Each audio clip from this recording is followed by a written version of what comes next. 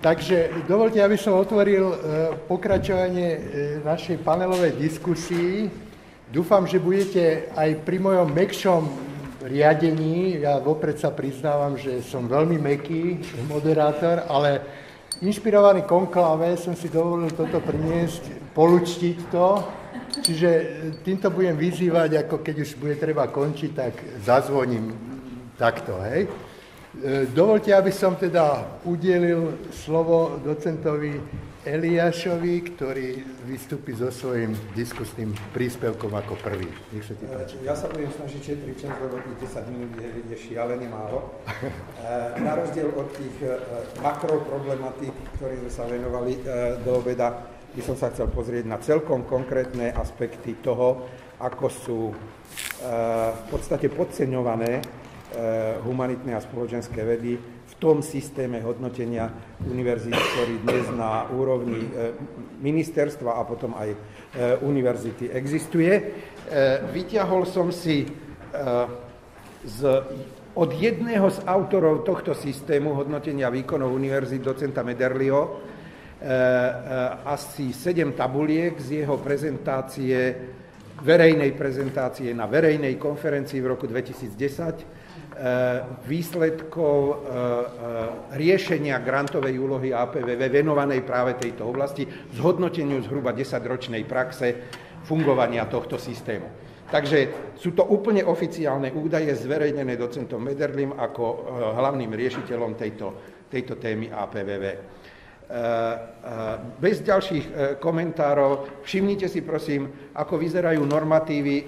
Je, bola to konferencia 2010, takže zmapované je obdobie 2003-2009. Ako vyzerajú normatívy pridelované na vysokoškolských študentov z úrovne ministerstva pre verejné vysoké školy. Toto červené sú veterinárske odbory, modré sú umelecké, zelené sú prírodovedné, pod nimi sme my humanitní a potom je, potom je právo. Hýbali sme sa na úrovni zhruba 30 tisíc na hlavu, na študenta. Od roku 2006, ako sa zaviedlo e, dvojstupňové štúdium, na bakalára samozrejme klesli investície z tých zhruba 30 na 20 tisíc. Všimnite si ale, čo sa stalo, keď sa pozriete na magisterský stupeň.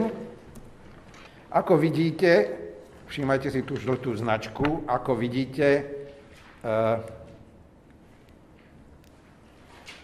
uh, no, nedosvieti to tam. Budem to musieť robiť takto. Ako vidíte, uh, zhruba tých 30 tisíc na magistra zostalo permanentne. Výsledok? Ministerstvo na každom bakalárovi ušetrilo 10 tisíc. Z normatívu. Hej? Eh, upozorňujem na to špeciálne preto, že v mnohých ohľadoch to, čo mu hovoríme výkonové odmeňovanie, je pseudovýkonové odmeňovanie, pretože môžete navyšovať výkon, koľko chcete. Ak vám ministerstvo financí dá nejaký balík a on nie je vyšší ako minulý rok, tak výsledok vášho navýšenia výkonu je, že na jednotku výkonu dostanete menej peňazí. Hej? Takže z tohto pohľadu je to skôr demotivujúce ako motivujúce. E, Takto vyzerá, prosím, ocenenie e, domácich a zahraničných grantov v prepočte na tisíc korún grantu. Ak získate domáci grant vo výške tisíc korún, ešte stále to je v korunách, e, je to z toho roku 2010, tak všimnite si, prosím, to je tá najspodnejšia línia, tak tých tisíc korún z domáceho grantu vám nevynesie do výkonu ani tých tisíc korún, koľko cez ten grant získate. Ale keď získate zahraničný grant, to je tá modrá so štvorčekmi, tak v roku 2009 za tisíc korún zahraničného grantu sa dostanete zhruba na 4 tisíc korún, ktoré výkonovo dostanete udelené. Ja preto e, na to upozorňujem, že si treba uvedomiť, aké obrovské peniaze z zahraničných grantov dostávajú e, tzv. tvrdé vedy. Čiže zhodnocujú sa im vo výkone 1 ku 4. Hej. Naše odbory, hlavne e, typu etnografických, alebo národopisných, alebo historických, ktoré na zahraničné granty siahajú oveľa ťažšie, sú samozrejme výrazne, výrazne diskriminované. Takto to prosím vyzeralo so študentmi e, doktorandského štúdia. Modrá krivka označuje, koľko bolo za jedného absolventa, do výkonu univerzity a červená, koľko bolo za jedného denného študenta. Všimnite si ten dramatický pád. Hej. Zo 120, teda z milión 200 tisíc za jedného absolventa sme padli na 400 tisíc, potom sme sa máličko zdvihli. Z hornej hranice zhruba 420 tisíc na jedného denného doktoranda sme padli na 180 e, tisíc. Ako náhle sa zdvihne počet doktorandov a absolventov, klesne suma, ktorým sú, ktorou sú financovaní. To je to, čo som hovoril pred chvíľočkou. Tu vidíte, e, ako sú ohodnotené e, do výkonu publikácie. A1, A2. A1 sú vlastne monografie, kapitoly v monografiách. A2 vysokoškolské učebnice, kapitoly a podobne. B všetky karenty. Odborné, vedecké, domáce, zahraničné. Prosím, môže byť síce krásne, že za, jeden, za jednu monografiu dostaneme e, do výkonu nejakých 240 tisíc, ale nezabúdajme, že monografií bude koľko za rok? 50? E, karentov je samozrejme podstatne viacej a všimnite si, zahraničný karentovaný príspevok je prakticky 100 tisíc do výkonu. Hej. Domáci je prakticky 40 tisíc. A teraz si všimnite, ako sú e, ohodnotené kategórie C, publikačné výstupy, kde je 80%, ak nie viacej našich výstupov. Zahraničné, najšpičkovejšie, dosahujú úroveň 12 tisíc korún na jeden kus tak povediac. Hej. E, domáce e, e, zhruba 5000. Hej. Takže nebudem vás unavovať ďalšími údajmi, zhruba by sme sa hýbali takto isto v tých reláciách. Takže sumár, to, čo by sa tomu výkonovému modelu dalo vyčítať, ak by sme hneď chceli akceptovať, povedzme, jeho fungovanie v nejakej podobe, ako existoval doteraz, tak by si žiadal nápravu minimálne v týchto oblastiach. Nejakým spôsobom by sa tam malo premietnúť, e, e, mala premietnúť kvalita a nie iba kvantita, prvá poznámka. Druhá poznámka, zvýhodňujú sa samozrejme ekonomicky náročnejšie výskumné odbory, to sú predovšetkým veci, ktoré sa týkajú prírodovedeckej fakulty a matfizu, hej, pretože cez veľké granty dostanú veľké peniaze do výkonu. Eh, disparita v hodnotení jednotlivých oblastí pri hodnotení výkonu. Z tohto pohľadu, z nášho pohľadu, nadhodnotené granty, podhodnotené doktorantské štúdium. Navyše, čo možno nepostrehne každý, veda je započítavaná takmer s tými istými kritériami dvakrát. Poprvé je započítavaná v rámci školy 40 ku 60, hej? a po druhé je započítaná samostatne v kategórii veda. Hej? Pritom v jednom aj druhom prípade ide o výkony tých istých pracovníkov, pretože aj na prírodovedeckej fakulte aj učia, aj robia vedu, presne tak ako my. Čiže de facto aj tuto je ďalší handicap, pričom znova sa do toho premieta ešte aj ten problém ekonomicky náročnejších oblastí výskumu. Potom je to ten moment podhodnotenia našich publikačných výstupov a vôbec podhodnotenia špecifiky diskurzu v, našom, v našich vedných odboroch. Hej. Ja chápem, že karentované časopisy sú plochou, kde diskutuje 60 e, špičkových e, fyzikov na svete, ktorí sa zaoberajú, ja neviem, e, slnkom. Hej? Ale nechápem, prečo by ten istý systém komunikácie mal fungovať v spoločenských a humanitných vedách, kde ten impact sa dosahuje vlastne zavedením do spoločenskej praxe a nie E, nejakým priamým výstupom do, do patentu alebo, alebo do nejakého, do nejakého e, priemyselného produktu. Hej.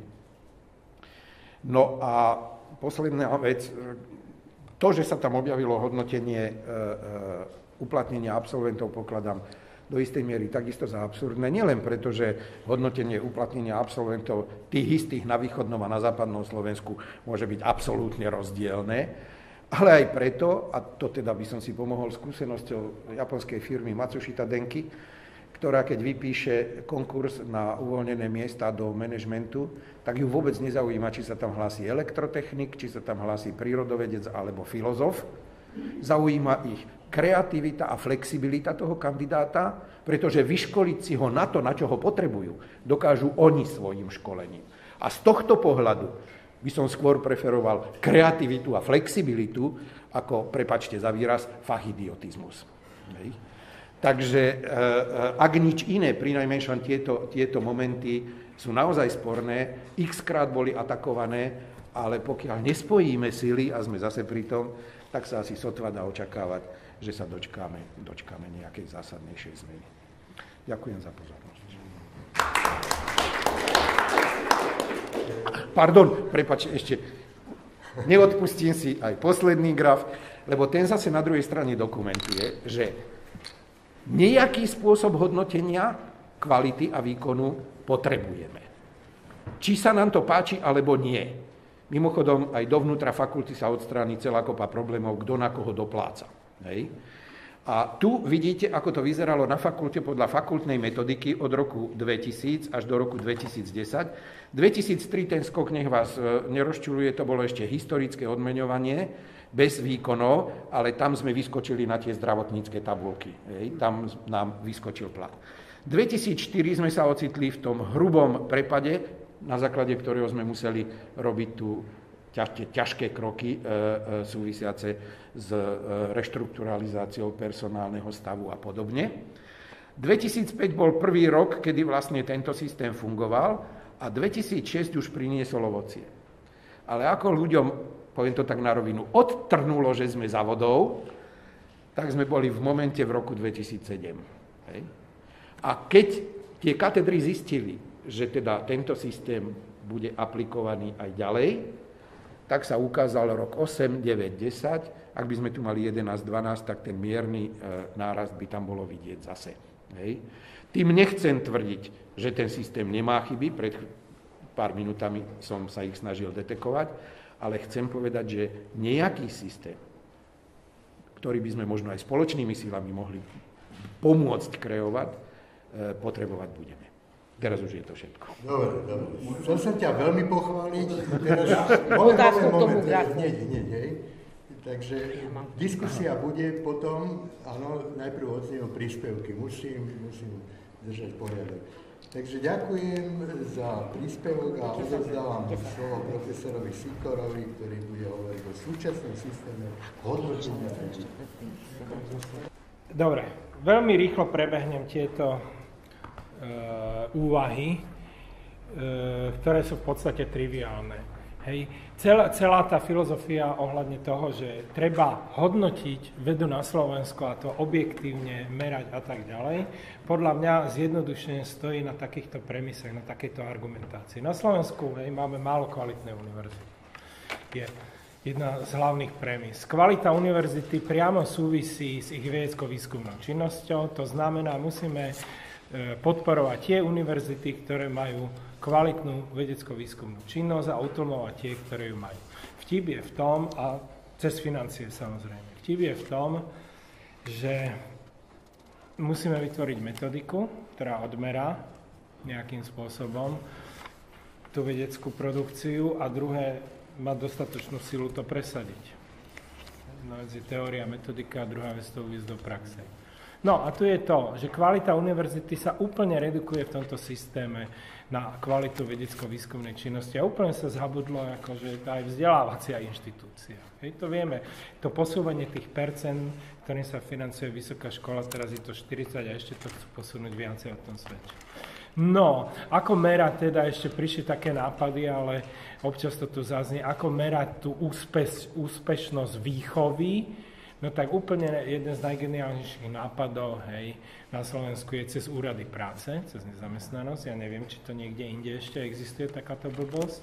Alebo ešte dotiahnutá táto blbosť ďalej, že podľa toho, koľko oni platia na odvodoch. Hej? Čiže keď vyštudujete za veľkého manažera a platíte veľa, tak to je odbor, ktorý ste dobre absolvovali, dobre vychovali, ten treba podporiť. A keď sa zamestnáte s nízkym platom, tak ten treba Hej, lebo zle ste boli vychovaní, keď málo zarábate. To nie sú moje výmysly, to bola oficiálny návrh ministerstva. Je tam viacej zabudnutých premis. Jedna z tých zabudnutých a veľmi dôležitá, a veľa sa tu spomínala, je, že sa prevádza kvalita na kvantitu. Ako teda transformovať kvalitu na kvantitu? To je tá pointa, všetky tie šaškárne okolo scientometrie. Hej. Že budeme počítať kvalitu tak, že ju budeme počítať cez množstvo, kvantitu kvalitných výstupov. Dobre? Potom musíme robiť druhý krok. Keď máme kvantitu kvalitných, musíme ešte zase zistiť kvantitu tých kvalitných, hej, ktoré to sú. A tak v dvoch krokoch dostaneme kvantitu kvantity, takto, vyjadrenú. Hej. A na to sú tu špecialisti, predovšetkým na Slovensku sú na to špecialisti, akreditačná komisia a samotné ministerstvo školstva, ktorá rozpisuje vlastne tie financie na Slovensku a tam sa vlastne premieta alebo hodnotí inou metodikou než akreditačná komisia, hej, ako hodnotiť kvalitu publikácií. No a potom je tu ARA. A ja dám, takže ak by sme prijali túto argumentáciu, táto argumentácia je prijatá, ja ju neberiem a myslím, že málo kto ju berie v tejto miestnosti, ale povedzme, hej, jak sa hovorí, kvôli argumentácii, povedzme, že toto akceptujeme, tak potom tu ešte stále máme, jak je to uvádzané do praxe na Slovensku. To je tá pointa, čo chcem povedať. Začnem ARO. Vyberám len jeden jediný príklad, ARA to tu už robí neviem koľko, 10 rokov, 9 rokov. Hej, vyvinula si trochu akože metodiku, robí to vedecky, hej, delí do dvoch veľkých skupín, robí teraz po fakultách už, hej, takže sú technické, prírodné, lekárske, ekonomické a tak, a potom sú filozofické, pedagogické a umelecké. Teraz hodnotí počty publikácií, nikde samozrejme je to netransparentné, treba povedať. Hej, my nevieme, aké sú konkrétne váhy publikácií, nevieme, ktoré sú vyberané, nevyberané, neobťažujú sa nám to povedať. Jedine, čo vieme, je, že je váha 11,8, čiže skoro 12 ku 1 oproti karentovaným publikáciám a domácim publikáciám. Hej? Takže keď máte jednu karentovanú, dostanete ako 12 bodov a keď máte domácu, dostanete jeden bod v tom ich hodnotení. No a keďže sme na pôde Filozofickej fakulty, jak dopadlo posledné hodnotenie ARA pomocou tejto metodiky.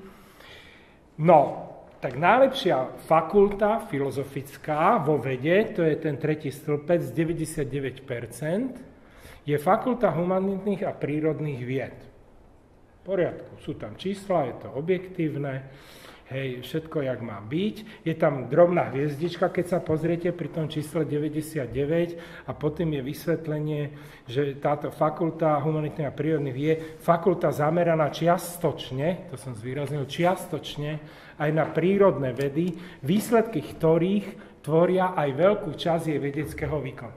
Ona má veľkú väčšinu tých, hej, tých, čo sú 12 krát než ten jeden, hej, a to tvoria. Výborne. Čiže toto je najlepšia filozofická fakulta na Slovensku, dokonca 100% na 99% čo sa týka vedeckej činnosti. So far so good, až na to, že sa pozriete na jej zloženie a obsah má 5 katedier. Katedra biológie, katedra ekológie, katedra fyziky, matematiky a techniky, katedra geografie a regionálneho rozvoja a ústav pedagogiky, andragogiky a psychológie. Máte dojem, že toto je vzorová filozofická fakulta na Slovensku? O čom je potom takéto hodnotenie? Prečo si myslíte, že to vybavíte jednou hviezdičkou? Také jemné nuance, čiastočne, ja neviem, keď z piatich katedier sú štyri prírodovedné, je slušné použiť slovo čiastočne? Kto si tu z nás robí idiotov? Hej, čiastočne by bolo, keby to snáď bolo naopak. Takisto nevidím najmenší metodologický problém odčleniť tie katedry, tak dobre, z piatich by odčlenili štyri a tie by hodnotili v rámci prírodopisných, prírodovedeckých a tu jednu by mohli v rámci humanitných. Ale tu sa to celé bere úplne naopak. Takže aká vedeckosť, aké vedecké objektívne hodnotenie našej činnosti sa tu prezentuje? A pre médiá verejnosť. Dobre. No, ideme ďalej. Ministerstvo školstva, ako som povedal, ja nebudem hovoriť o akreditácii, hej, má svoje vlastné zase rebríčky, ale toto je najnovší rebríček, ktorý keď som zistil, toto je na tento rok sa rozpisovali financie na vysoké školy pre rok 2013. Zložitá metodika, kto s tým prišiel do styku, to sú také vzorce na jednu stranu, hej, nikto sa v tom pomaly nevyzná, ale keď to pomaly začnete rozplietať, ja som strávil veľa času s tajomničkou, tam s ekonomickým týmom, aby som pochopil, si hovorím, tak snad sa to dá nejako Takže moja otázka číslo jedna. Hej, logika je zase, hej, meria sa vedecký výkon, spočítajú sa v tých našich slavných. 1 200 kategóriách vedeckých publikácií, ako sa pridelia body, pre jednotlivé kvalitnejšie by mali mať viacej bodov, hej, sú tam také koeficienty 0, niečo a tak, hej, a tie horšie by mali mať nižší koeficient a to sa potom vynásobí takými všelijakými ďalšími koeficientami ako hej, kvalifikačné štruktúry a bla bla bla. A sa dospeje k nejakému číslu, to sa spojí s ďalším číslom a, na to, sa, to sa prevedie na eurá, aby bolo jasné. Takže takto to nejak funguje. Takže je dôležité, ako sú tie, koľko publikácií a s, jakým, s jakou veľkou váhou ich máte. Tak jak vypadá, hej, pardon, ešte sa spýtam, čo si myslíte, že je teraz naj, najviac finančne cenená publikácia ministerstvom školstva pre tento rok? Áno, jedna z nich. Alebo Web of Knowledge, alebo impaktovaný časopis. Uh-uh. Nie? Impaktovaná sa nevedia. Karentovaná publikácia, áno. Dobrý tip, ale budete prekvapení, nie je toto najviac. Publikované prí, pozvané príspevky na zahraničných vedeckých konferenciách. Váha, najvyššia váha 1,1. Tam dole je vyznačené vedecké práce v zahraničných karentovaných časopisoch ADC. Hej, váha je najväčšia 1,1. Rovnakú váhu majú ale aj publikované pozvané príspevky na zahraničných. Dobre, odborné články, to neviem, aké sú v zahraničných karentovaných časopisoch, lebo tam sú buď vedecké, alebo... Hej. Vedecké práce v recenzovaných zborníkoch. To je na úrovni. Hej. Kapitoly vo vysokoškolských učebniciach, a teraz jedna z prvých, hej, čerešničiek na torte, hlúpostí, ale celá učebnica má len tretinu. Hej? Ak váha pre kapitolu vo vysokoškolskej učebnici je 1,1, tak za kapitolu, e, celú učebnicu dostane autor už len tretinu. Skvelá logika. No a na záver som si nechal túto vedecké monografie, hej, 3A, čiže publikácia v Oxford University Press, má len 0,22, 5 krát menej než, povedzme, tam ten článok e, na tej, tom zborníku. Alebo kapitoly v monografiách ABC, ABD a tam je podľa mňa, tam ide o administratívnu chybu, ale bohužiaľ chyba, ktorá, podľa ktorého sa výkony vypočítavajú, rozdávajú financie, takže to všetci, jak stádo ovci od hora dole ako kopírujú, je 25 krát menej.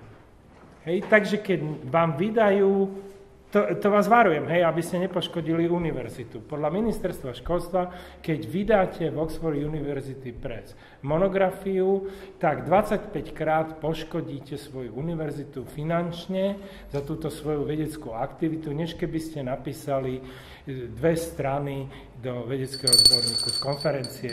Ďakujem za pozornosť. Posledná otázka. Kam smeruje vysoké školstvo v Slovenskej republike? Taký krásny film, ktorý sa volá, ak ste ho videli, z roku 2006, Idiokracia. Odporúčam ho pozrieť.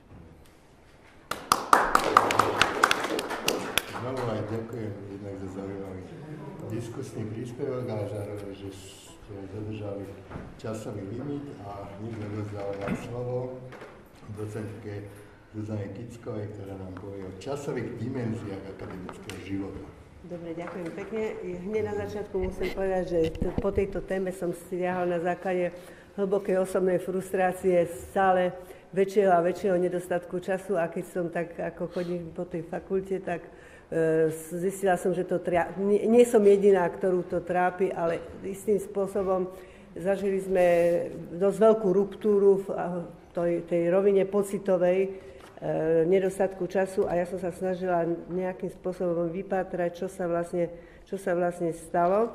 Mali sme projekt Knowing, e, ktorý sme riešili spolu s e, docentkou Sapulovou a magistrou Kobovou a teda otvorila sa mi príležitosť e, pološtrukturovanými rozhovormi na dvoch pracoviskách, na prírodovedeckom pracovisku, jednom prírodovedeckom, nebudem konkrétne menovať, a jednom spoločensko-vedenom e, urobiť, e, urobiť, teda, urobiť rozhovory, kde to, tie rozhovory boli samozrejme širšie zamerané a ja som si dobrala z toho tento výsek časových dimenzií Z rozhovoru bolo okamžite zrejme, že čas sa stal úzkoprofilovým zdrojom, že aj vedci, aj vedkine na vysokých školách stále viac bojujú s časom, len bolo ho treba nejakým spôsobom ako viac vnútorne diferencovať, o aký čas, alebo čo, čo, čo, čo sa tým myslí, keď sa povie nedostatok, nedostatok času.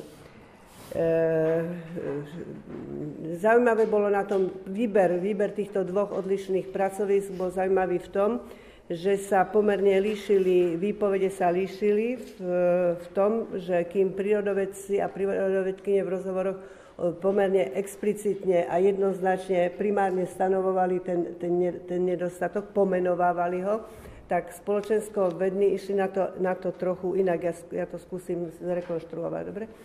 E, dalo sa teda takto. Na, spočiatku som myslela, že dostanem odpovede na otázky, ako sa vníma časová náročnosť daného vedného študijného odboru, e, ako sa pracuje s pojmami súťaž, boj a tak, a tak ďalej. Ukázalo sa, že táto moja primárna, primárne, primárne otázky bolo treba reformulovať a pretože, práve preto, pretože v tých prírodovedeckých zameraní odborníci a odborníčky rezonovali skôr časové charakteristiky, kým v výpovediach výskumníkov a výskumníčok zo spoločenskovedných predvádzalo skorej e, ťažiskový, e, tematizovanie ťažiskových problémov svojho odboru. A vlastne to, ten čas tam nebol tak, by som povedala, taká výkladná skriňa, tak explicitne sformulovaný, alebo bol skrytý a bol oveľa hlbšie a oveľa dramatickejšie možno vnímaný, než jednoznačne pomenovaný prírodovectvo. Takže Vyšla mi taká, taká, to je silné slovo, typológia, ale aspoň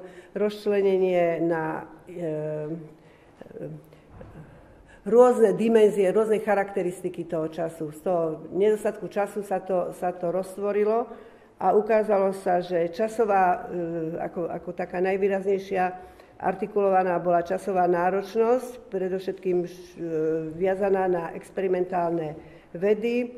Je pravda ale, že e, tu nám bol ten čas vnímaný zaujímavé veľmi pozitívne, pretože e, respondenti a respondentky hovorili, že ten, kto ide robiť e, experimentálnu vedu, hneď na začiatku musí vedieť, že to stojí strašne veľa času, že to nie je 8,5 hodiny, že je to, že je to určitým spôsobom soboty, nedele a tak ďalej. Takže viac menej to vnímanie času sa príjmalo, alebo tá náročnosť časová sa príjmala skôr ako samozrejmosť a do istej miery vyplývala zo samého predmetu, predmetu skúmania, ktorú bolo treba akceptovať a uvedomiť si. Tam ako problém nebol, nemá, jak ľudovo povedať, nemá si tam, tam čo ísť, keď ako si nerátal s touto časovou, časovou náročnosťou. Inak to vyzeralo ale už ďalej, pretože od časovej náročnosti v svojej vedeckej práce v realizovaných laboratóriách Prešla, prešlo sa, alebo teda e, dostala sa taká negatívnejšia konotácia už k času, ktorý sa predlžuje s narastaním rôznych povinností, súvisiacich ani nie tak s pedagogickou a vedeckou výskumnou činnosťou, ale zaznievalo tam schodom katedry. Istým spôsobom trumvirát, veda, učenie, katedra prináša ale často synergický časový efekt, ktorý e, respondenti a respondentky, kde sa to otočilo a chápalo sa to už negatívne. To, e, oveľa, oveľa negatívnejšieho hodnotenia sa dostalo ešte administratívnemu času. E, pre príliš veľký objem tak vo vedeckom projekte, ako aj v iných druhých činnostiach e, prinášal pocit a tú, tú pocitovú rovinu vyplitvanosti. Administratíva, všetko, čo súvisí s, s projektami, na ktoré nie je nie je podvybudovaná inštitucionálna podpora a ktorú, treba, ktorú ten projekt treba vlastne si administratívne sám odviesť za dosť tvrdých podmienok zmien a takto všetci tu, ako sedíme, dobre poznáme. Jednoducho e, prevládal pocit vyplitvaného, vyplitvaného zbytočného vyplitvaného času. Zavádzanie kvantitatívnych kritérií pri pridelovaní úväzkov pre vysokoškolských pedagógov a pedagogičky zase mal efekt nezapočítaného času, že jednoducho istý, istý, istý čas sa nezapočíta, iba priamy, priamy kontakt, ale práca so študentami, nie, hoci sa vyžaduje a hoci, hoci sa realizuje, nie je, dostato, nie je, nie je započítaná, teda nena, nezapočítaný čas. Ďalej, e, na, na tieto negatívne, tak ako ako to obyčajne býva, reakcia na tieto negatívne pocity nastupoval, bolo treba vymyslieť strategický čas, ktorý istým spôsobom zatieňuje a preklenuje neistotu s projektom aj s tými výsledkami. U prírodovedcov sa ukázal jeden zaujímavý fakt, že tri roky im samozrejme nestačia a do rizika, že nebudú mať e, výsledky, tak, to, tak e, vymysl, vymýšľajú istý, istý strategický čas, kde v rámci toho projektu si tak povedať nadrobia a keď majú nadrobené a je istým spôsobom viac menej e, e, sa ukazuje, že, že pozit, budú pozitívne výsledky, že budú publikácie, tak si zažiadajú nový, nový grant už na takto nadrobený alebo na, nad, nadpracovaný, nadpracovaný e, čas a, a tak ďalej. Nedostatkový čas bol naj, najčastejšie reflektovaný v súvislosti s ťažkosťami, ako spojiť rodinu, osobné záujmy, voľný čas s vedeckou prácou a kariérou. Tam tento privátne a verejné bolo jednoznačne, jednoznačne pomenované. No a získaním väčších finančných prostriedkov a tým aj viacerých prístrojov sa na prvý pohľad paradoxne nedosiahlo e, viacej času, ale čas sa nazvala som svrkávajúci, svrkávajúci čas, ako, ktorý, ktorý ktorý nastal. E, vo výpovediach výskumníkov a výskumníčok do spoločenskovedného pracoviska, boli zamer, ktoré boli zamerané inak a už som hovorila, že viacej e, tieto časové charakteristiky nevystupovali tak prvoplánovo, ale, a teda som nemohla nejakú takúto typo, typologizáciu, teda kvázi typologizáciu, ako teraz som hovorila, urobiť. Podarilo sa mi ale vygenerovať štyri také významné, významné releva, významovo relevantné tematické okruhy. Všetky e, boli formulované z pozície nedostatkovosti a e, pomenujem ich. Bolo to stiažovanie si na málo ľudí na danú problematiku, teda na riešenie danej problematiky, málo financií, kde tá kritika už bola veľmi silná a súvisela s časom vlastne tak, že nedostatok financií jednak e, čo sa týka dotovania samotného výskumu, ale aj odmeňovania spôsobuje mladým e, začínajúcim vedcom problémy, pretože naberajú si ďalšie a ďalšie úväzky, e, vstupujú do ďalších a ďalších projektov a vlastne ten čas, a ten efekt nedostatkového čas, čas, času, takto sa takisto, takisto sú konfrontovaní s ním. No, málo uznania bola ďalšia, ďalší taký tematický, e, málo uznania sa dostáva predovšetkým spoločensko-vednému odboru, ale to sme tu už e, do, dosť počuli. No a pretože prírodné vedy, porovna, čo je spoločenské vedy v porovnaní s prírodnými ťahajú stále za kratší koniec, to si boli e, spoločenské vedci jasne si to uvedomili. No a napriek tejto, tejto odlišnosti predsa len existoval jeden výrazný spoločný, spoločný bod, ktorý sa dá pomenovať ako nedostatok, nedostatok času e, na premýšľať. Pre, neviem to lepšie pomenovať, ale je to istá transverzálna charakteristika e, narastajúceho nedostatku času na premýšľanie. Pod premýšľaním rozumiem, je to istým spôsobom, uvedom, už končím, uvedomenie si špecifickosti vlastne času, ktorú potrebujete na tvorivú, tvorivú prácu, ktorý nemá aditívny, vyskladajúci nejaký charakter. Nemôžete pridať 10 minút k ďalší, ďalšími 10 minút, kde to musí byť balík času, na ktorý potrebujete koncentráciu, kde, kde, kde sa potrebujete e, byť dostatočne sústredení a tá práca nemôže byť preru, preru, do nekonečná prerušovaná a nejako fragmentarizovaná a podobne. Te, takže vlastne týmto, eh, myslím si, že, že vlastne to, čo ten spoločný menovateľ nedostatku, nedostatku času na pre, premýšľanie, eh, ja to neviem ľudovejšie povedať, že lehnúci na záda a či si knížku jenom tak, jenom, jenom, jenom tak a, a nie teraz na základe prevládajúcej účelovej racionality, čo skôr na, eh, uhrám na na projekt, čo skôr na učenie a čo skôr, ja neviem ešte na, na čo ďalšie, čím sa mi vlastne ten balík totálne rozpa, rozpadne zvnútra a vlastne účelová racionalita, keď už sme tu toho honetávali, tak, tak preváži a vlastne to, tá vnútorná motivácia, tá radosť z toho, z toho tá kreativita z toho, z toho čítania, ktoré kde nečítam len to, čo nevyhnutne na zajtra, na zajtra potrebujem, sa premienia na vonkajšie, vonkajšie donúcovanie, vonkajší tlak, vonkajší teda to vnútorné sa mení na vonkajšie, ktorý tí prírodoveci, ale aj, aj spoločenské veci ešte viacej poci, poci, pociťovali. E, poviem to teraz na, veľmi natvrdo, to sme v tej knižke, kde sme o tom písali, nepovedali. Myslím si, že vlastne takýto nedostatok na premýšľanie je subverzná aktivita rozkladania, roz, rozloženia našej profesionality a našej profesnej identity. Veľmi vážne. Veľmi vážne. Dobre, dobre, potom bude diskusia. Budem ja subverzne postupovať. Ďakujem ešte raz docentke Kickovej tiež, že dodržala, Zuzka, z teba som mal najväčší strach. Ja viem. Kvôli tebe som kúpil toto.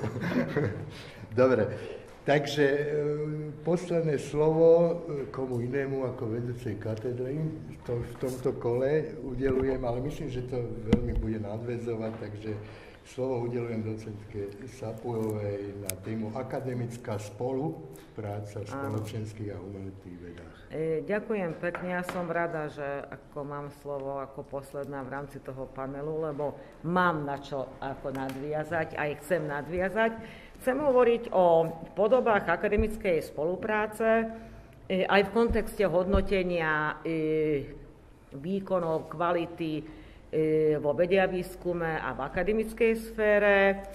E, prečo táto téma? Tak pre rôzne veci, ale možno, možno v rámci diskuzie. E, začnem, to, čo chcem povedať, skúsim sformulovať ako v niekoľkých takých veľmi jednoduchých tézach. Začnem ale tým, že zrejme všetci máme nejakú skúsenosť e, s potrebou, s nutnosťou spolupráce alebo s túžbou po spolupráci. Spolupráca alebo kolaborácia je niečo, čo sa teraz aj nosí. E, zrejme tie časy, keď filozof mohol odchádzať sám do ústrania, aby sa venoval slobodnému vyvracaniu svojich názorov, ako kedysi Descartes, už veľmi dávno prešli, už ani filozofi neodchádzajú sami do ústrania. E, keď sa pozrieme na, do niekoľkých do takých dokumentov vednej, technickej, vysokoškolskej politiky, tak si môžeme všimnúť, že naozaj ako, ako keby spolupráca E, funguje ako heslo dňa, dobre, že nie ako zaklínadlo.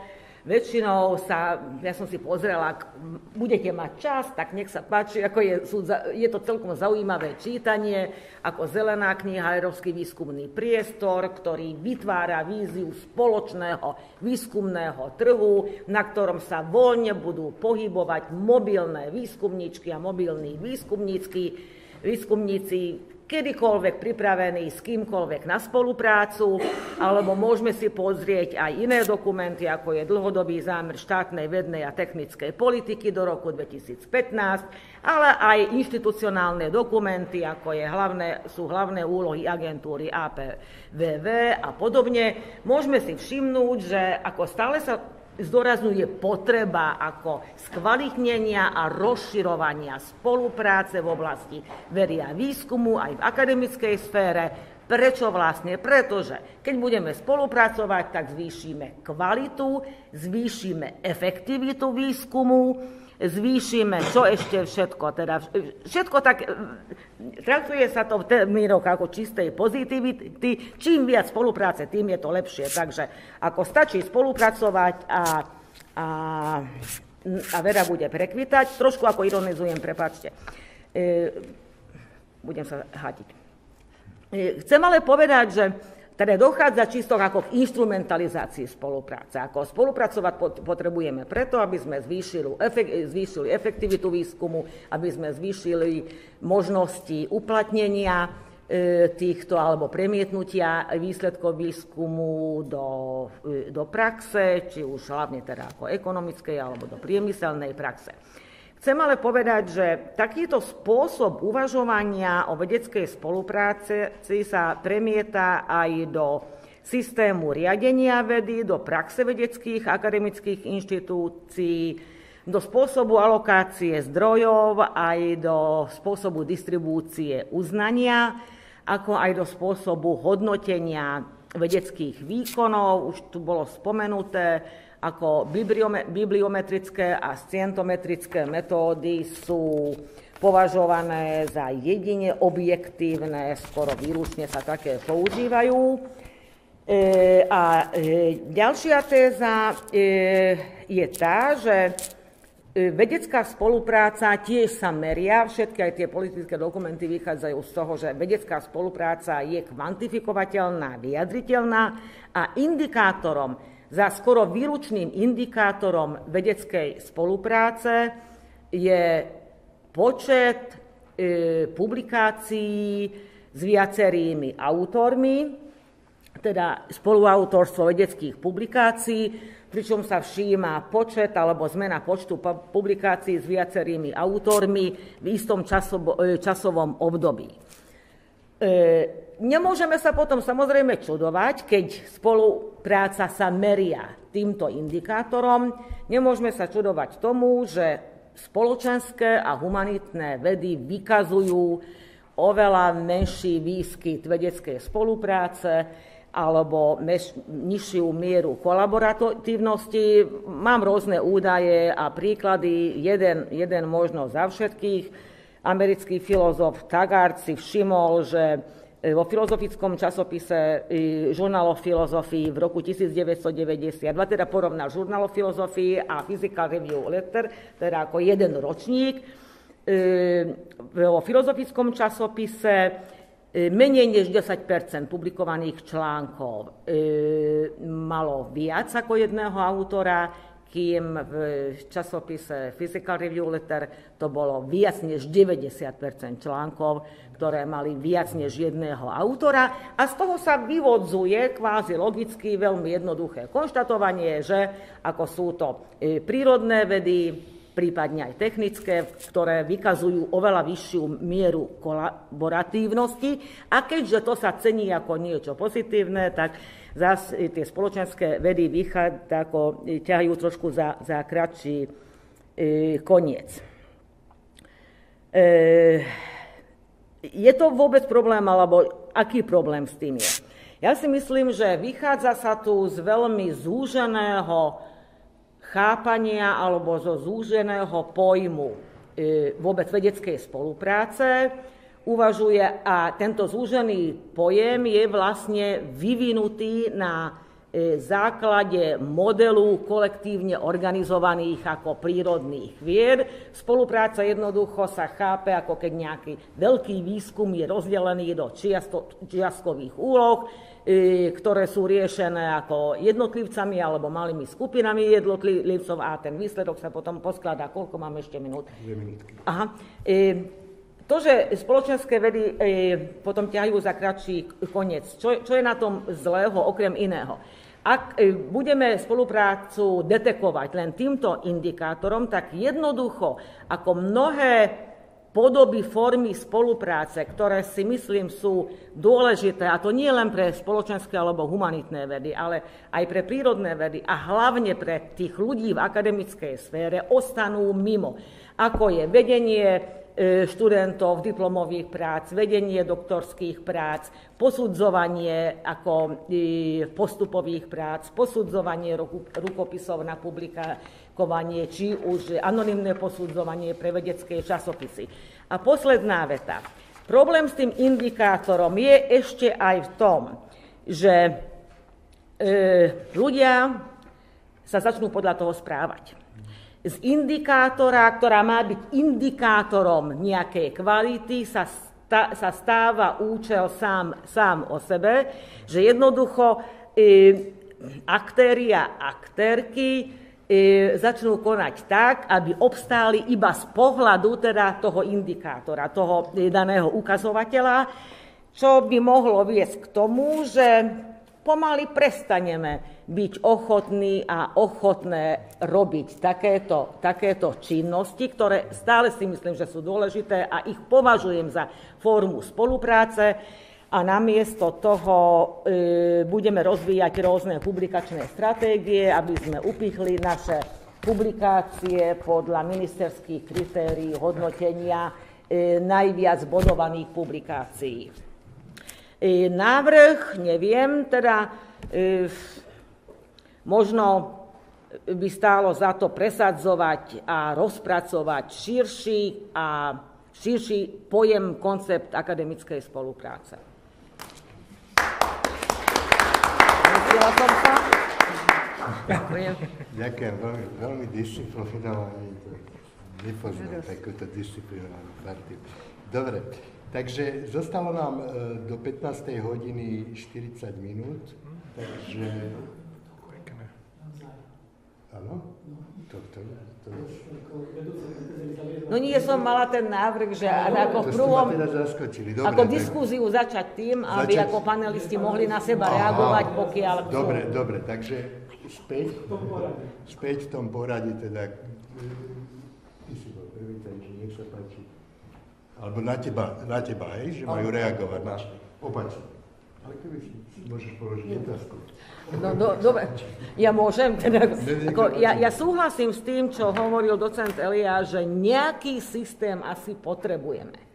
E, problém je podľa môjho názoru s tým, že tie indikátory alebo, alebo ukazovatele kvality nie sú dobre nastavené. Ja neviem, ako sa dajú ako lepšie nastaviť. Určite sa dajú, ale ja si myslím, že tá spolupráca by bola dobrá aj v tomto, že spolu ako sa pr- zamýšľať nad tým a vymyslieť nejak návrh na, na zavedenie ako iných indikátorov. Takže to, čo som hovorila, nebolo mienené v tom zmysle, že nič nepotrebujeme, ako nechať absolútnu voľnosť. Zrejme to nie je ani, ani celkom nereálne. Len e, a si myslím, že to môže byť celkom ako taký rozumný argument, že pokiaľ to bude zle nastavené, tak ako aj akademickí ľudia sú racionálne uvažujúce bytosti, tak podľa toho sa začneme správať a budeme robiť veci, ktoré nám prinášajú body a eurá. Teraz myslím nie len osobne. Ale to potom môže viesť k tomu, že nebude sa nám chcieť za 40 eur teda písať e, oponentský posudok na 200-stranovú doktorskú prácu.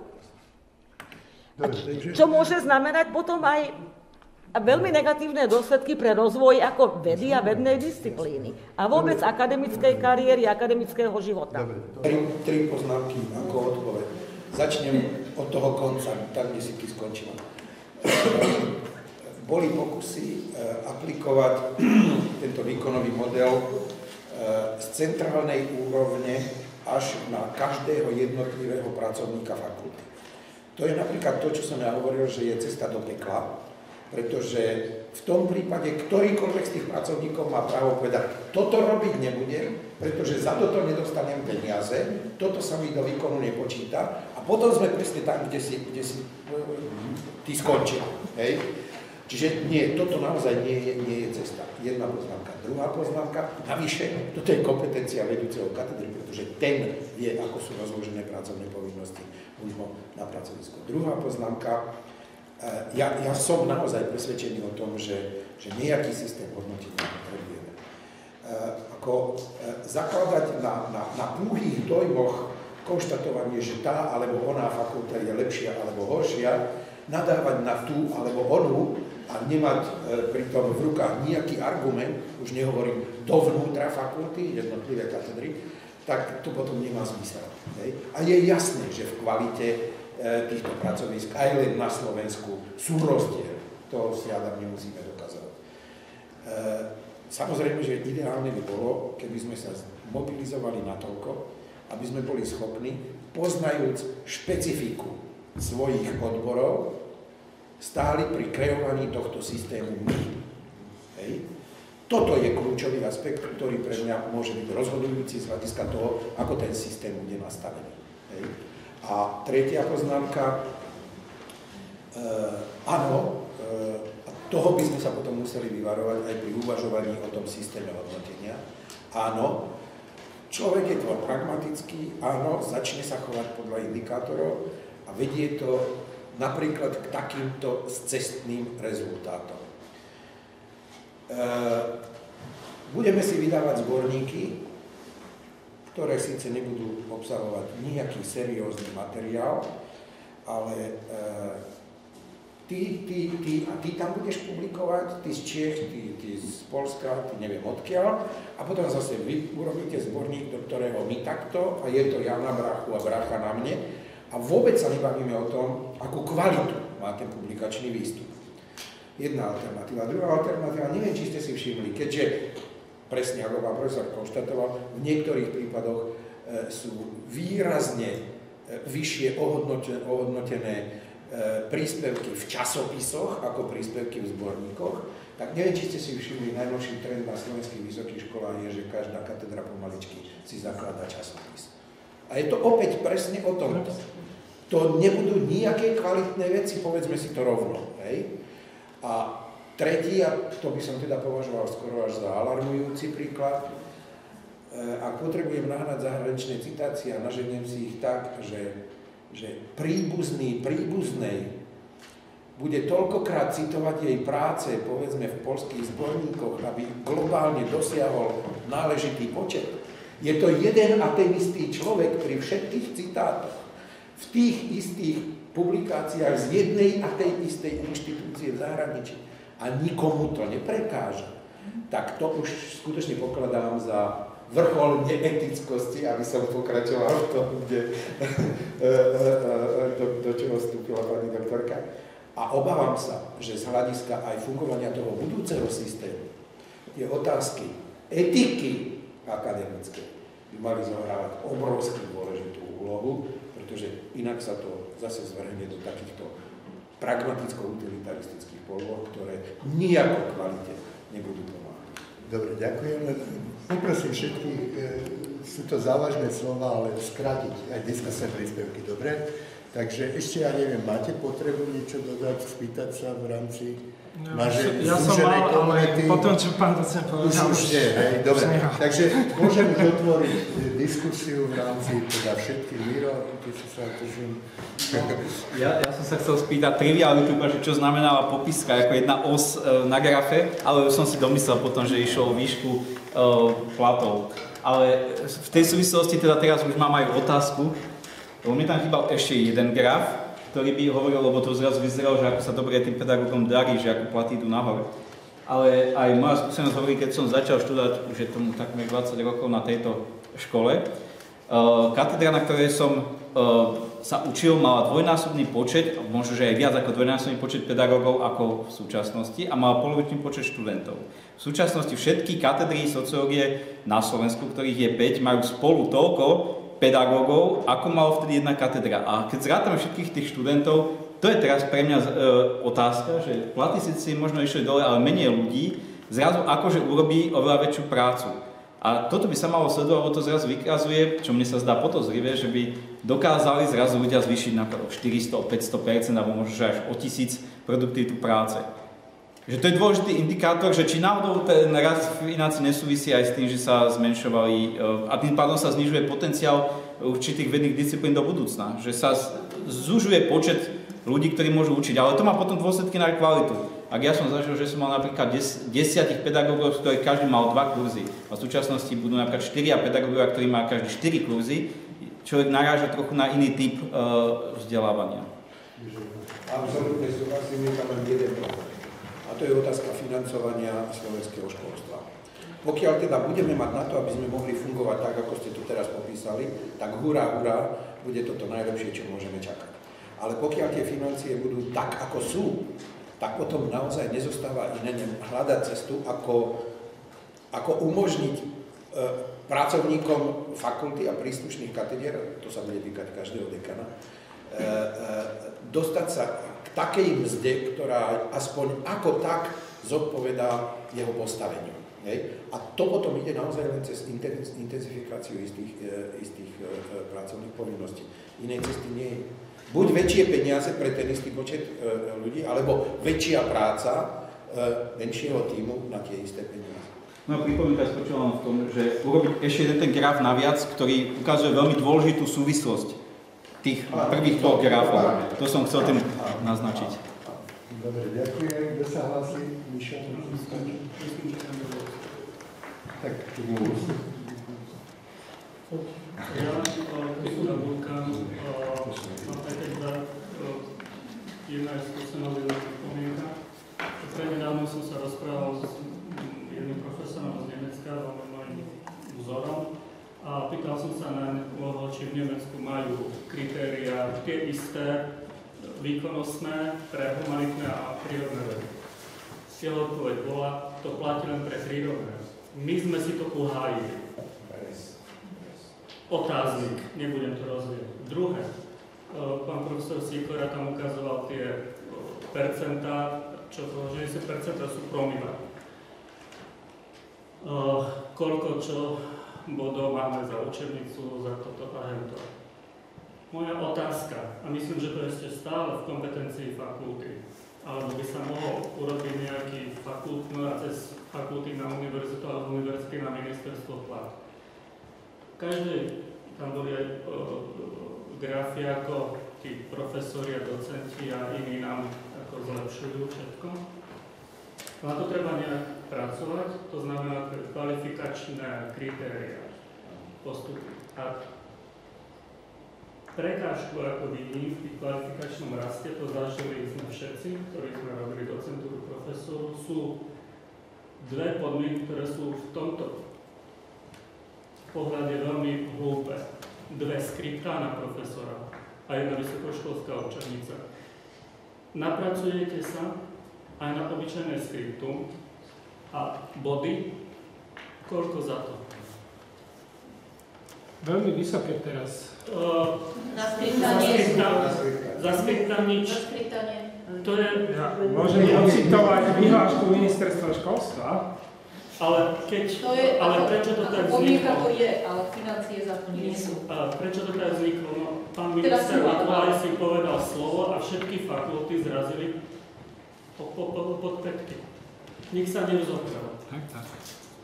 Prečo? Tak ja si myslím, že toto je v kompetencii vedeckých rád, fakultných, uh, uh, univerzitných a vyvinúť nejaký tlak, že naozaj toto je, nenesie to veľa, neprináša to veľa uh, peniazy, stojí to veľa času, je to zbytočná prekážka, tak radšej napíšem o jeden, o, o dva články do karantovaného slovenského časopisu z filozofie, má to väčší impact, má to viac financií, to donesie, ako sa ako trápiť na nejakými skriptami, ktoré, čo a ešte e, dostaneme mail od e, vydavateľstva, že predávajte si tie skriptá, Pane Bože, pretože nám to je na sklade.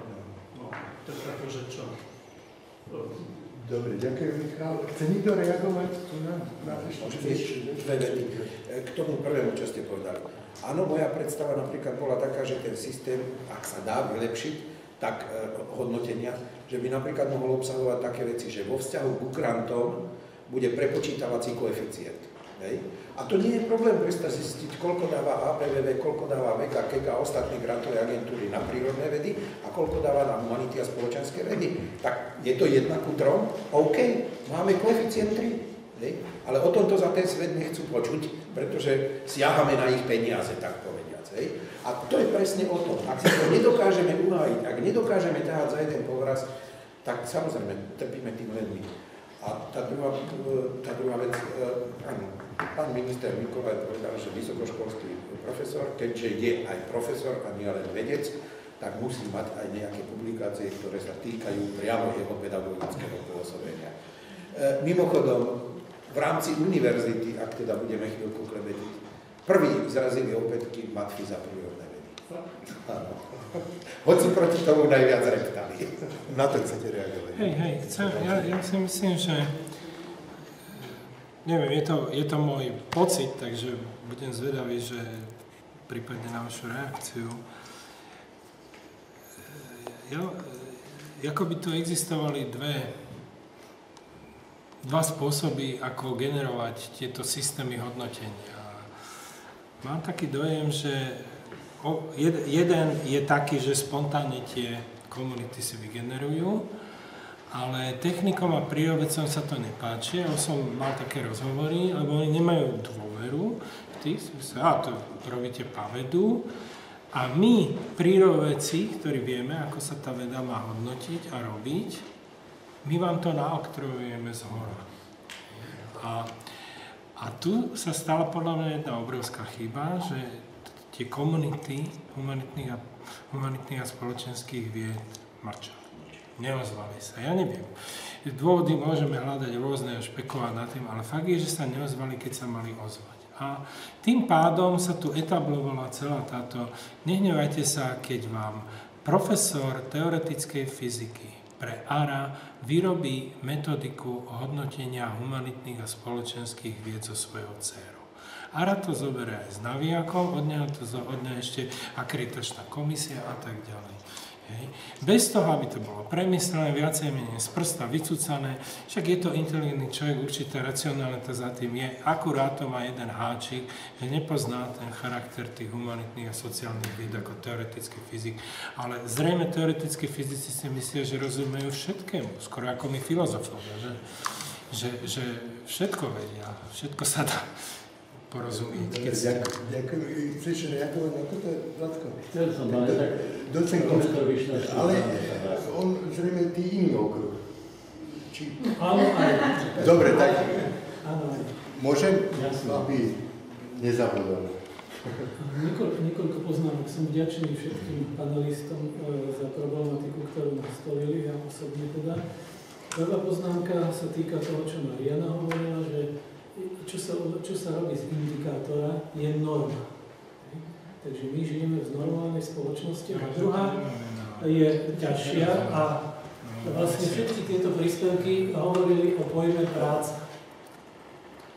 Lebo ide o pracovný výkon, ide o odmeňovanie práce, o hodnotenie práce. E, Tu e, by som navrhoval aj pre budúcnosť rozlišovať pojem hodnotenie a odmeňovanie. Odmeňovanie práce a odmeňovanie za prácu je jedna kategória a hodnotenie práce alebo čohokoľvek je iná kategória. Hodnotenie inštitúcie napríklad, ako Briti nazývajú tie rebríčky ligové tabulky, ironicky, vedome a majú to kriticky spracované. Prečo robíme tie mm, ligové tabulky? Ale vrátim sa teda k tej práci. Pojem výkonu. Pojem výkonu je z práce, takže tu mám svoje poznámky, ktoré som si priniesol. Mot, e, výkon motora sa meria v konských silách. Výkon manuálneho pracovníka sa meria v počte výrobkov. E, Výkon pracovníka vôbec sa meria v mzde a rozlišuje politická ekonomia alebo ekonomia časovú mzdu a úkolovú, nespisovničnú, čiže výkonovú, výkonovú mzdu. Kladiem otázku, aká je naša práca akademická, aká je naša mzda? Úkolová či výkonová, alebo, alebo hodinová, časová. A odpovedám si zatiaľ, je to nezmysel merať túto prácu časom a ani týmito, týmito výkonmi alebo produktami. Prečo? Moje vysvetlenie, moja hypotéza zatiaľ je, že politická ekonómia a ekonomia tu zaspala pretože čo robí ekonomická veda aj tá, ktorá nám nastavuje financovanie vysokých škôl, ale to nie je slovenský problém, to je fundamentálny problém hoci e, celej, celej e, ako západnej civilizácie, hoci musím povedať, že som, už som sa dočítal, že existuje politická ekonomia vzdelávania. Takže niektorí ekonomovia, nielen filozofii, na to prišli a uvažujú, ako merať duševnú prácu, tvorivú prácu. A čo to znamená merať? A Prečo teda zaspala? Pretože e, na základe ekonomickej vedy, starých kritérií z minulého storočia, ktoré vznikli, táto ekonomická veda, kategórie výkonu vznikli v oblasti manuálnej, fyzickej práce, materiálnej výroby. A oni neurobili nič iné, len tieto kategórie teraz nám tu napasujú na našu prácu. Pritom všetci hovoria sami ekonomovia, máme informačnú spoločnosť, máme vzdelanostnú spoločnosť, duševná, tvorivá, intelektuálna práca tvorí bohatstvo, je v centre, čiže nefyzická práca tvorí bohatstvo, ale napriek tomu oni ešte neurobili revolúciu v ekonomickej vede a aplikujú na nás staré kategórie z minulého storočia. Ja v tom vidím, keďže máme aj teoretickú konferenciu, ja v tom vidím vážne teoretické pozadie a ekonomia, ekonomia sa musí zobudiť. Dobre, ďakujem. Chcel som povedať dve alebo tri drobné poznámky. Súhlasím s tým, čo tu odznelo, potrebujeme systém. Ale aj tento systém je systému a má veľmi pozadie, ktoré nie je na, prvo, na prvý plán čitateľné, e, pretože je ešte horšie, ako naznačil pán profesor Sikora, že teoretický fyzik vymyslí kritérium. To pozadie je vyslovene lobistické. Ten systém je založený na lobizme, na ničom inom. absurdnosť e, tohto, tohto pokračovania je v tom, aby si, lebo si môže vymyslieť teraz minister školstva s akreditačnou komisiou, že v tomto duchu lobizmu vypíšu, aby sa to zobjektivizovalo, preženiem to výberové konanie na vymyslenie systému kvalitatívneho hodnotenia vysokých škôl. A vyhrá ten, kto bude najlacnejší, samozrejme. Ale to, to je absurdné. Teraz uh, inšpiroval som sa trochu včerajším vyjadrením profesora Honeta v iných kontextoch, či produkuje súčasná politika ideály, ktoré by boli anerkennungswürdig, to znamená hodné uznania. Dospel k tomu, že nie, žiadna politika toto neprodukuje. Keď to vzťahnem teraz na tieto systémy hodnotenia, na čom je to založené? Keď vidíme predpoklad, je za tým lobizmus, nejde o to, aby sme dosiahli hodnosť, ocenenie, uznania niečoho ale ja som si vymyslel termín, že to ide vlastne tu o problém, po nemecky povedané nach Amtswürdig, hodné napodobňovania. To znamená, my lobisticky vytvoríme systém a vy, ak chcete byť uznávaní, tak ste hodní jeho napodobňovania. Tohto, čo my robíme, napodobňujte. To znamená, z toho vyplynie potom stratégia, že napodobňujeme to, čo nám vôbec nevyhovuje, z toho vyplynujte dezilúzie, že robíme len to, čo sa hodnotí a nerobme to, čo by sme robiť mali, pretože to je, nie, všetko je založené na absolútnom podceňovaní uznania. Vlastne, keď si to, nechcem teraz filozofovať, ale poďme trošku širšie, na čom je založená terajšia spoločnosť. No napodobňujte tých najúspešnejších a tým najúspešnejších sme stanovili lobistické kritéria úspechu. Takže je to trošku širší problém, ktorý sa asi netýka len vysokých škôl a nielen systému hodnotenia, ale týka sa asi celkovej atmosféry v tejto spoločnosti.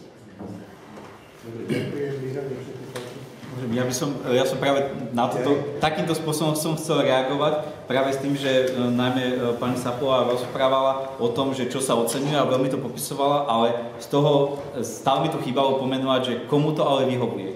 To znamená, že kto sú tí lobbysti, lebo zatiaľ to vyzerá, že máme tu systém, ale nehovorili sme o tých, kto sú. Tí, v čí prospech je to robené? A mám teda taký poslednú osobnú skúsenosť som napísal práve o tom novom systéme akreditácií, keď sa mi zdalo absurdné, že povýšili citačný, e, citačný index a publikovanie v karentovaných časopisoch ako na najdôležitejšie. Ale reagoval som aj na článok e, rektora STU, ktorý napísal, že je absurdné, ak si ministerstvo školstva objednáva písania kníh lebo sa majú objednávať, on to nazval priamo, že oznámenia v medzinárodných karentovaných časopisoch. To znamená, že on tým, že degradoval publikácie monografie, tým, že to nazval, že to je absurdné, zároveň povýšil za nasledovanie hodné písanie oznámených medzinárodných vedeckých časopisoch, čo pre mňa to slovo oznámenie znamená niečo, čo je iba, akože iba informácia, ktorá nemá žiadnu inú hodnotu, niečo sa bude diať ako plagát, že pozývame vás do kina asi. A takže tam bol veľmi vidieť ten lobizmus z týchto skupín, ktoré boli, teda bol tam priamo rektor STU. Potom na môj článok reagoval, e, neskôr bol to chemik, ktorý zareagoval a začal písať, že toto nie je možné v chémii a preto, aby sme vyselektovali, tak musíme nastaviť pravidlá. A oni všetci explicitne píšu, že píšu o obhajobe svojich vlastných kritérií a presadzovanie seba samých. Takže podľa mňa za štúdiu stojí e, potom sledovať, kto sú tí ľudia, ktorí presadzujú takéto pravidla, z akých sú odborov a zase môžeme vidieť, kto sú tie lobistické skupiny. Bo zatiaľ sme tu popisovali systém, ako keby bol nejaký abstraktný, že je tu nejaký systém, nám ho sem dali, ale tam sú konkrétni ľudia, ktorí aktívne lobujú, pracujú, presadzujú opatrenia, pôsobia na ministra, že príde s takýmto nápadom, teda, že však dokážte, že musíme dokázať, že vôbec si zaslúžime peniaze. Čo je dosť absurdné zo strany ministra, eh, hoci ktorého odboru, aby on nútil tých, ktorí sú jeho zamestnancami, by dokazovali, že si zaslúžia prácu. Plácu, tak. Ja som Milovská, ja som práve tak trošku na poli aj to, tej bibliometrie. O scientometrii nemôžeme hovoriť, pretože keby bola scientometria, tak tam presne berieme aj tie, to, koľko sa do toho investovalo a rôzne iné váhy a prepočty. Tu ja by som chcela nadviazať na tú spoluprácu alebo na to hodnotenie. Do istej miery môže tam byť aj ten logistický to nemôžeme spochybňovať, ale ja sa obávam, že častokrát je to nekompetencia a naozaj nejaká pasivita na tej druhej strane. Pretože teraz, keď sme hovorili o tej spolupráci, áno, na jednej strane sa zvýraz, zdôrazňuje, mali by sme spolupracovať a tak ďalej a tak ďalej, ale keď sa to premietne teraz do tej metodiky toho hodnotenia, tak ministerstvo školstva úplne seriózne a vážne uvažuje nad tým, že tie krásne tabulky sa ešte skomplikujú na to, že sa budú financie prerozdielovať na základe percentuálneho podielu na publikácii. A v takom prípade neviem, že či to bude pre tých prírodovedcov také veľmi super, pretože je úplne bežné, že jeden parentovaný článok z oblasti nukleárnej fyziky má 628 autorov. A článok má dokopy možno 1200 strán. Takže čo, tieto dve slova sú moje? Ako tam by to už išlo až na promile. Otázka je, že proste potom naozaj toho, že čo je vlastne hodnotené... 1200 slov, nie strán. Slov, áno. Takže je to, je to proste akože veľmi, a tiež my sme ako, teda myslím, tí, čo robíme s tými informáciami, čo bohužiaľ proste akože nejakým spôsobom to musíme hodnotiť, kategorizovať, evidovať a tak ďalej a tak ďalej, tak proti tomu bojujeme. Ale s akademickou komunitou ako proste ako tých, ako keby sa to netýkalo a tí sa začnú ozývať v momente, keď sa to na nich aplikuje. Ako išla bola vyhláška, bolo pripomienkovacie konanie, akože proste bola novelizácia.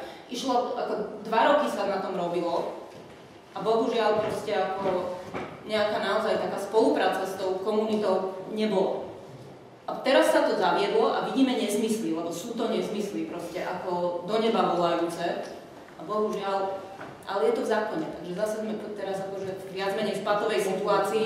Čo budeme robiť? Budeme to proste ignorovať a budeme porušovať zákon? Môžem reagovať aj na to, čo hovoril kolega Tíšik, možno aj na vás. E, si myslím, že neviem, či sa mi to podarilo ešte povedať, že ako ten, ten systém, teda ako e, aj formálneho oceňovania, nechcem povedať uznania alebo hodnotenia, spolupráce je vytvorený podľa modelu ako kolektívne organizovaných prírodných vied, kde prebieha to, čo sa po anglicky tomu sa hovorí big science, kde sú ako obrovské výskumy, na ktorých sa podiela tisícka ľudí a výsledky ako tak koator, ako môžem povedať, no nie to ako, e, po slovensky pekne, ako, ako výstup alebo publikácia, kde je 50 alebo 500 autorov, to sú väčšinou ako výsledky takých obrovských výstupov. Neviem, e, do akej miery, alebo aká lobistická skupina, ak nejaká bola za tým, že keď sa toto zavádza, že sa potom bude prerátať na percenta, teda na, na percentuálne vyjadrenie podielu jednotlivých autorov, lebo zrejme to nahrávať nebude takým Nie, e, publikáciám, ktoré... Ako proste nebudeme predsa, pretože keď spolupracujeme, v súčasnosti ministerstvo si začalo uvedomovať, áno, máme tu teraz jednu publikáciu, kde spolupracovali z ja neviem, Technickej univerzity v Košiciach, kde spolupracovali z Univerzity Komenského a ešte zo Slovenskej technickej univerzity. Momentálne proste ako je tam men trojčlenkov, znížená jednotková cena, ale všetkým išiel akože 100% výstup. Alebo teda výkon, tá jednotka. V súčasnosti povedali nie, my dáme, že teraz si vymyslím, publikácia stojí 200 tisíc, ale akože proste nedostanete deleno 3, ale pekne, proste akože ty máš 60%, tak ty dostaneš toľko, ty máš 40, ty dostaneš toľko a ty máš 0,1, tak dostaneš 0,1.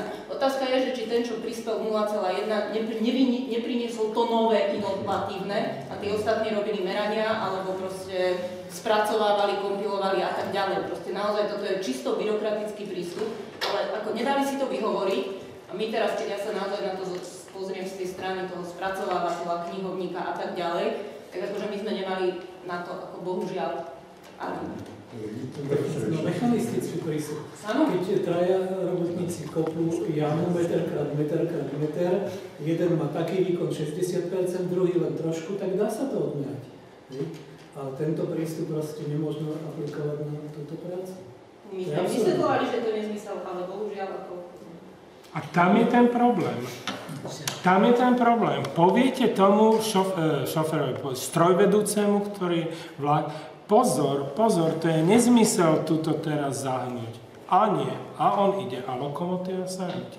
Pokiaľ nevyriešime tento problém, nepohneme s tou vecou. Dobre, k tomu, čo doktor Kiežik a, a k tomu, čo Lacko hovoril, tým lobistickým tlakom. E, len raz na úrovni univerzity sa nám podarilo zalobovať za predchádzajúceho rektora a poukázali sme na to, že drvivá väčšina tých parametrov, ktoré sú nastavené pre skúmanie výkonu vo vede, je vlastne postavená na vstupoch, nie na výstupoch. A že teda poďme sa baviť o kvalite výstupov a nemerajme to na vstupoch. Hej? Čo mám na mysli? No fajn, dostanete na grant, vymyslím si, 20 miliónov. A to hovorí o kvalite vášho riešenia? Veď to je vstup. Hej? Dobre, mohli ste spraviť perfektne projekt, ale perfektne urobený projekt ešte neznamená, že ste ho aj perfektne vyriešili. Hej? Takže sme povedali, dobre, nebavme sa o tom, že bude tak vysoko e, e, e, proste hodnotený tento parameter vstupov, ani domácej, ani zahraničnej granty. Čo je výstupom? Publikačné aktivity a konkrétne riešenia. Tak posilníme hodnotenie publikačných výstupov. Hej? Doktoranti. Počet doktorandov denného štúdia pred podizertačnej skúške. To je vstup. Čo je výstup? Počet absolventov posilníme počet absolventov. Posun v týchto troch parametroch relatívne nízky, lebo sme zase vedeli, že ak to má byť akceptovateľné a odhlasované na úrovni 13 fakult, tak musíme hľadať nejakú koncenzuálnu cestu. Znamenal prínos pre našu fakultu vo vede v príslušnom roku 18 miliónov korún. Tie niekomu chýba. Takže dnes už to neplatí. Dobre? To neplatí. E, nech sa páči, minister Ja možno dve, dve poznámky. Tá jedna sa týkala práve toho hodnotenia spoločenského humanitných vied. Pokiaľ si správne pamätám, tak práve v tom hodnotení ARA uh, um, bola uh, v ARA samotné ako prebehla diskusia o hodnotení humanitných a spoločenských vied, ale vlastne sa tam ako keby nedospelo neskôr k nejakému, nejakému záveru. Myslím, že sa aj zúčastnila Mária Pusa, takisto Martin Kanovský, neviem, to ešte ďalší. A vlastne potom oni teda, oni zmenili aj, aj to hodnotenie, že sa teda rozšírili publikácie mimo Web of Knowledge a takisto sa vlastne tie humanitné a sociálne vedné publikácie začali váhovať. To iba ako, že tam pridala vlastne ako nejaká váha. Um, to iba ako na doplnenie vlastne toho kontextu tej debaty. A druhá týka že to strašne uh, takého toho všeobecného kontextu, o, o, čom, o, čom hovoríme, že je veľmi zaujímavé, že sme sa vlastne ako dostali už do tej veľmi konkrétnej debaty o tom, čo a ako hodnotíme. Že vlastne už sme teda vlastne celkom bežíme na tej logike tej kvantifikácie a toho, že naozaj súťažíme jednoducho o nejaké prostriedky.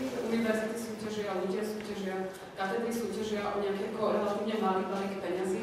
Ale mm, Čítala som teraz nedávno jednu knihu s prehlásením, s prehlásením vlastne profesorov a profesoriek pôsobiacich na britských univerzitách, ktorí vlastne po nepokojoch, ktoré tam boli asi pred dvomi rokmi a na univerzitách, tak vlastne spísali tak ako nejaké jednoduché návrhy, čo by sa opäť ako malo zmeniť a meniť na univerzitách. Jedno z tých riešení bolo, ako opäť zaviesť vlastne blokové financovanie.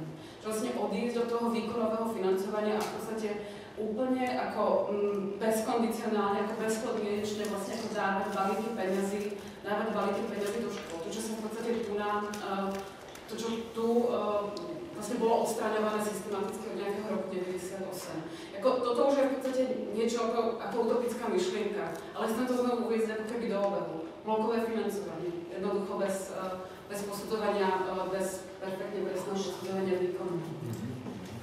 Dobre, ďakujem. Máme ešte 4 minúty, takže ja by som sa k tomu jeden, ako, hlboko hlásila kvôli tomu, že sedím vo vege a viem, že ako tam už vôbec nefunguje žiadne výkonnostné, ani, ani vstupy, ani výstupy, proste to je či, či, či, či, lobovanie. A je to saturácia vlastne prostriedkov, ktoré nedostanete od štátu, aby ste si, no proste to, čo, čo, čo, čo by ste mali dostať na, na, na priebeh ako výskumu a vôbec fungovania, tak e, saturujete to vlastne tou vekou. To je však počítače, to, to, to tu na nebolo, nebolo by tak vybavené. Takže je to, je to smutné povedať, ale je, je skutočne... Navyše je to ešte zastrešené tým, že odmeňovanie ľudí, ktorí posudzujú, nie je vôbec žiadne. Vôbec žiadne. Vôbec žiadne. Dobre, ďakujem. Posledné, posledné, posledné. To, čo nezaznelo len preto, že jedna vec je inštitucionálne hodnotenie, hodnotenie inštitúcií. A tu, e, keď jedna inštitúcia má 10 rokov a druhá 90, tak to je rozdiel. Jedna univerzita má 50 rokov, ďalšia má 5 fakult, ďalšia má 10 fakult. Tam sa nemôže uplatniť e, jednotná metodika, lebo vyjde, vyjde nezmysel. Čiže jediné, a to Briti majú, e, hodnotenie je disciplinárne, po disciplínach, čiže po odboroch. Filozofi sa porovnávajú s filozofmi, katedry filozofie s katedrami filozofie, či v jednej krajine, alebo v Strednej Európe. A toto je cesta. Si bol stručný. Ešte jedna, jedna reakcia. Naučme sa len jeden citát. Trpko pravdivý, ale to odveselenie príde na záver. Citát znie, keďže veda, vzdelanie v humanitnej sfére osobitne reálne nepatrili doteraz medzi priority žiadnej vlády, je to oblasť dlhodobou návratnosťou pre politikov nezaujímavá, môže dojsť na konci nášho dnešného vývoja k paradoxnému stavu. Hospodársky rast sa skončí vzdelanostným a kultúrnym poklesom spoločnosti. Autor citátu je Rudolf Chmel. Bohužiaľ nie ako politik, ale ako literárny historik. Dobre, tým sme vyčerpali. Ďakujem za vašu tvorivú diskusiu, za vašu disciplínu a dúfam, že takto v tomto duchu bude pokračovať aj ešte po prestávke, teda vyhlasujem prestávku do pol štvrtej. Sa nič nezmení.